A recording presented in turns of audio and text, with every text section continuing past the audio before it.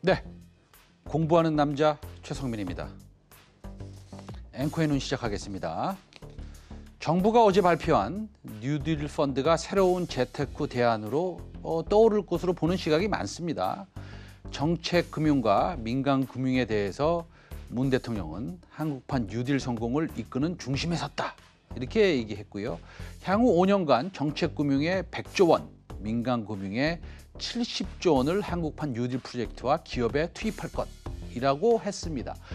뉴딜 펀드는요, 이거 조금 더 시간이 지나야지 정해지겠지만 이제 연 1.5% 이상의 수익률과 원금 보장에 준하는 안전성을 담보한다라는 얘기가 많습니다. 예.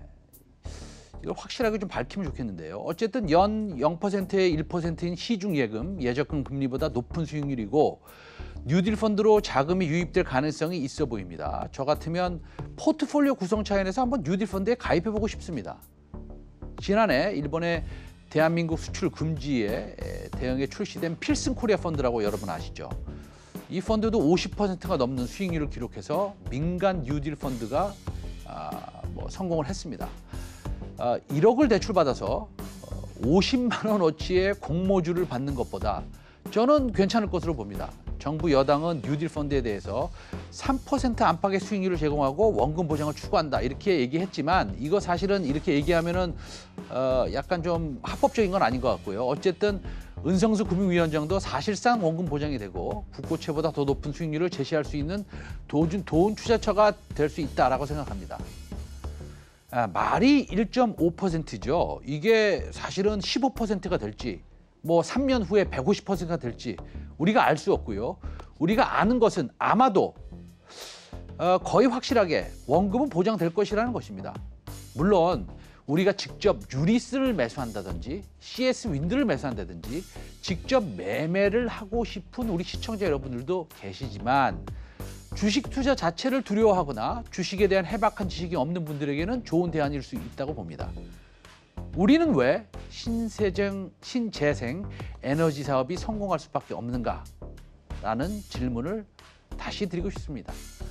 아, 태양 및 풍력의 에너지 발전 단가 절감이 재생에너지 사용량 확대에 기여할 것으로 예상되기 때문이고요.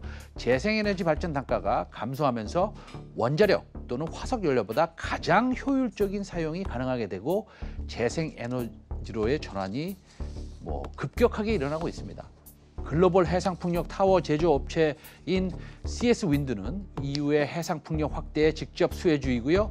또 국내 대규모 해상풍력 단지 조성에 효율이 좋은 국내 터빈이 일정 부분 사용될 수밖에 없는 현실을 감안하면 유니슨도 수혜를 입을 수 있습니다. 삼강 M&T는 해상 풍력용 하부 구조물 제조 산업에 진출해 단기간에 글로벌 플레이어가 되고 있는 것 같습니다. 글로벌 1위 해상 풍력 개발 업체인 오스테드와 대규모 공급 계약을 맺은 데 이어서 유럽에도 해상 풍력용 주요 구조물인 석션 버킷의 수주에도 성공했습니다.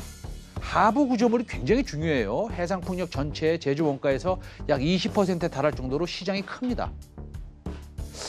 여러분, 시청자 여러분, 어, 계속 관심을 가시어 주시기 바랍니다. 여러분의 성공 투자를 기원하겠습니다. 앵커의 눈이었습니다. 내일, 내일 아니죠. 12시 50분 월요일 날 뵙겠습니다. 감사합니다.